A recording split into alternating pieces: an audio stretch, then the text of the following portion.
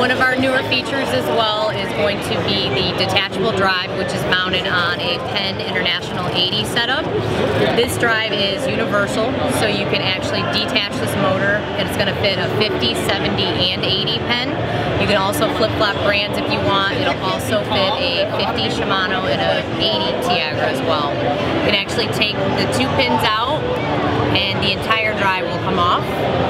Leaving you with just a standard reel.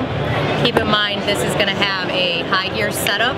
So this was designed to stand up and hand crank the fish. So you can actually take the drive off if you're not fighting it, um, get it in your harness, then reel the fish in. Or if you want to just check your bait, you can just slap the motor on in a couple seconds and uh, reset. It also has variable speed, 0 to 500 feet per minute. This has a 12 and 24 volt system, so either way you plug it in, the reel is smart enough to recognize it. You'll also get a two-speed wireless remote with this feature.